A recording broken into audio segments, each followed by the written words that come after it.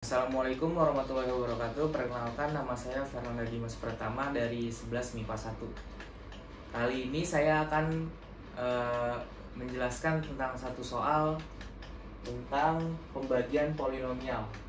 Di sini ada ada soal 2x pangkat 3 min 5x pangkat 2 ditambah 4x ditambah 3 dibagi dengan x min 3 di sini saya akan menggunakan dua cara yaitu yang pertama cara bersusun.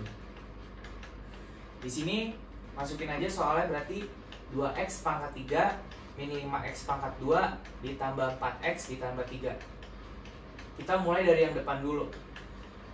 2x 2x itu dibagi x berarti hasilnya eh 2x pangkat 3 dibagi x berarti hasilnya 2x pangkat 2 nah 2x pangkat 2 ini dikali dengan x min 3 berarti hasilnya 2x pangkat 3 min 6x pangkat 2 langsung aja dikurang karena ini 0 jadi nggak usah ditulis. Berarti min 5, min 5x pangkat 2 dikurang min 6x pangkat 2 berarti hasilnya x pangkat 2 nah yang 4x 4x plus 3 ini kita turunin aja berarti jadi x pangkat 2 ditambah 4x ditambah 3 lanjut x pangkat 2 dibagi x berarti x nah yang x ini dikali dengan x min 3 berarti hasilnya x pangkat 2 dikurang min 3x langsung aja dikurang berarti uh, 4 dikurang min 3 hasilnya 7x nah 3 nya turun.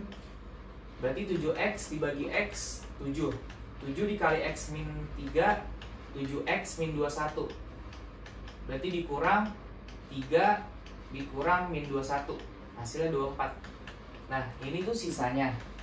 Ini sisanya dan yang atas ini tuh hasilnya. Lanjut ke cara yang kedua.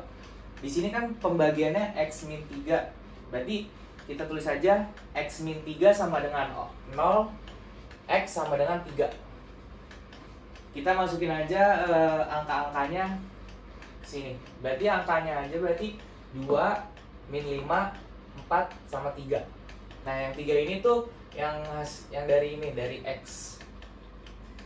Kita mulai yang pertama berarti duanya langsung turun ke bawah.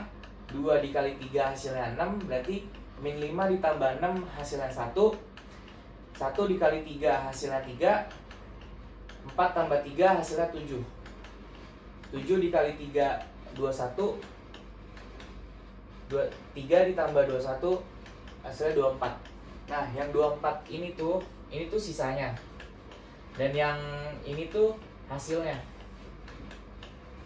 Sekian dari saya. Kurang lebihnya mohon maaf. Wabillahi taufiq walhidayah. Wassalamualaikum warahmatullahi wabarakatuh